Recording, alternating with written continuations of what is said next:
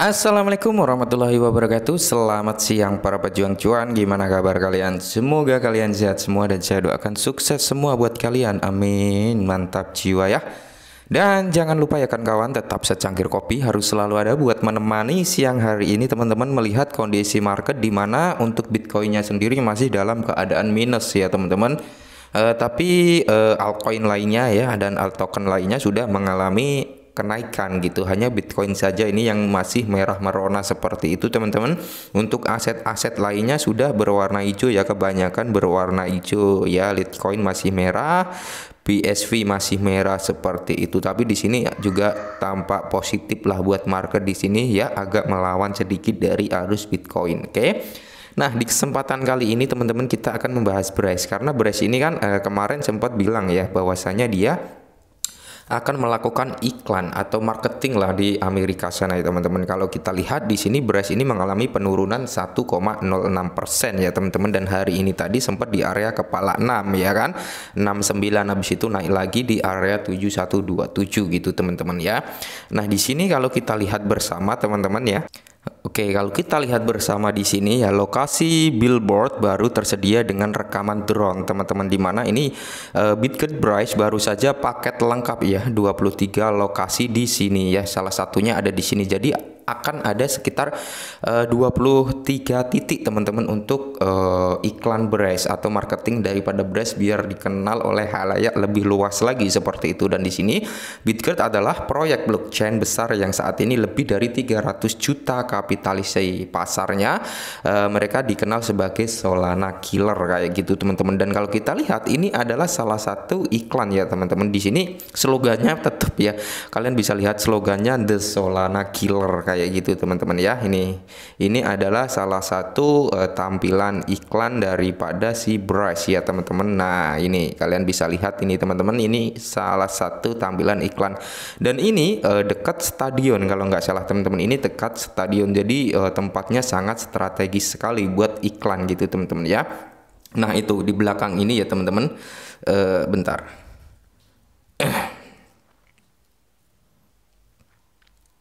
Nah, ini teman-teman, ini adalah stadion teman-teman. Jadi tempatnya ini dekat sekali dengan stadion. Jadi eh, terlihat sangat strategis untuk beres. Dan kalau kalian tamati ini ya, slogannya ini yang bikin ngeri ya, The Solana Killer kayak gitu teman-teman ya. Nah, ini adalah salah satu uh, marketing yang dilakukan oleh tim Bryce ya teman-teman. Mantap. Dan yang terbaru adalah ini teman-teman Bryce sendiri ya. Di sini Bitgert mengembangkan sistem operasi terdesentralisasi ya. Pertamanya yang berfokus pada privasi pengguna, keamanan, kecepatan, stabilitas dan eh, aksesibilitas kayak gitu teman-teman di mana Bitgert OS ya. Jadi dia akan membuat uh, eh, OS ya teman-teman eh, decentralizer blockchain operating system kayak gitu teman-teman. Di mana contohnya sederhana saja ya uh, ada Windows kayak gitu, ada OS ya. Seperti gambarannya di HP yang kalian pegang lah. Kalau kalian pegang Android di situ akan ada sistem OS-nya. Kalau pegang iPhone di situ ada iOS kayak gitulah teman-teman. Intinya hak paten di situ gitu teman-teman untuk menciptakan hal yang lebih uh, menjamin keamannya lagi. Jadi ini uh, cukup amazing kalau menurut saya pribadi seperti itu dan uh, banyak yang bertanya kalau ke angka satu rupiah bisa nggak bang? Kalau saya pribadi yakin bisa teman-teman ya target saya nggak muluk-muluk ke satu rupiah dulu ya. Baru setelah ke satu rupiah tercapai nanti mungkin meningkat lagi ya kan ke lima rupiah, sepuluh rupiah dan sampai harga seterusnya. Tapi target ter uh, terdepannya atau target terrealistisnya lah intinya seperti itu ke satu rupiah dulu seperti itu teman-teman. Kalau sudah nyentuh di area satu rupiah kemungkinan besar untuk meneruskan kenaikannya entah targetnya naik lagi lima rupiah sepuluh rupiah seratus rupiah atau lima ratus rupiah pasti bisa. Karena di sini apa uh, Bridge ini uh, rutin ya konsisten melakukan burn otomatis di mana ada transaksi yang terjadi di DEX ya kan? Itu pasti akan ada burnnya teman-teman. Akan ada burn secara otomatisnya seperti itu ya. Walaupun kita ketahui lah bahwasanya Bridge ini memang nggak ada burn manual mengandalkan burn otomatis yang ada di DEX ya. Transaksi di DEX kayak PancakeSwap, MetaMask dan sebagainya. Kayak gitu teman-teman ya.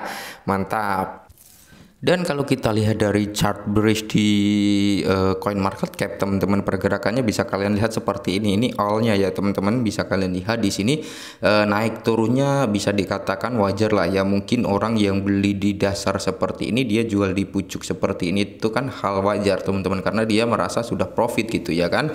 Kan karena sering saya ingatkan bahwasanya ketika kalian sudah cuan kenapa nggak diambil gitu ya. Jadi lebih baik seperti itu. Cuan ambil, cuan ambil, koreksi masuk, koreksi koreksi masuk gitu kalau saya teman-teman ya. Nah dan kalau kita lihat dari uh, holdernya teman-teman holder daripada brush ya di sini kita masuk dulu ke uh, eh, BNB Smart Chain-nya ya kayak gitu teman-teman kita cek bersama di sini ya kan. Nah, jadi gini teman-teman, untuk supply-nya memang satu kuadriliun. Ini supply-nya sama kayak uh, token-token lainnya yang sudah nyampe ke satu rupiah adalah Shiba Inu ya teman-teman, di mana dia juga uh, gencar melakukan pembakaran untuk saat ini teman-teman untuk mengurangi sisa supply ya Shiba Inu untuk saat ini memang nggak ada burn manualnya teman-teman mengandalkan dari komunitas ya seperti itu teman-teman. Dan kalau kita lihat holdernya di sini uh, sekarang sudah 160.898. Nah, jadi kalau kita lihat dari segi holdernya memang ada peningkatan yang cukup uh, lumayan gitu teman-teman. Karena terakhir kita bahas waktu itu kita ngecek holdernya sekitar 150 something gitu teman-teman ya. Dan di sini untuk transfernya sudah kisaran di angka 2 juta ya seperti itu. Nah jadi kalau kita lihat dari uh, burnnya teman-teman burn daripada beres ya kan dia sudah 57,2929 persen ya, ya sekitar 57,2 persen gitu aja teman-teman. Di mana ada sekitar 572 2,9 triliun token beras yang sudah di uh, apa ya di burn kayak gitu teman-teman. Dan untuk melihat transaksi pembakarannya kalian bisa ngecek di sini ya. Uh, di bentar-bentar kita cek bersama di alamat dead walletnya ya teman-teman. Nah di sini kita untuk ngecek ya.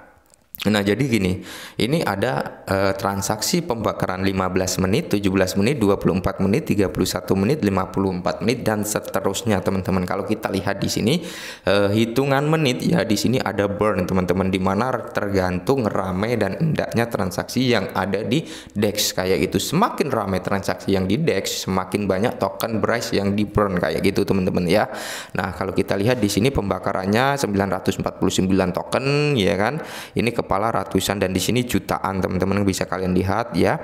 Satu juta 121 sekian gitu. Nah ini kepala satu jutaan. Kemarin waktu dia naik tinggi sampai kill zero di situ pembakarannya cukup besar teman-teman. 20 juta per transaksi ada ya kan? 30 juta juga ada gitu teman-teman. Jadi uh, semakin banyak transaksi yang dilakukan di DEX maka akan semakin banyak juga token beras yang di burn kayak gitu teman-teman. Oke?